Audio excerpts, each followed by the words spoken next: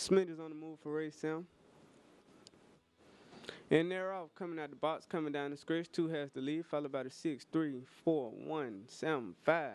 As they're coming into the first turn, six still has the lead, followed by the two, one, three, four, seven, five. As they're coming into the back stretch now, six still has the lead, followed by the two, one, three, four, seven, five. As they're coming into the final turn now, six still has the lead, followed by the two, one, three, four, seven, five.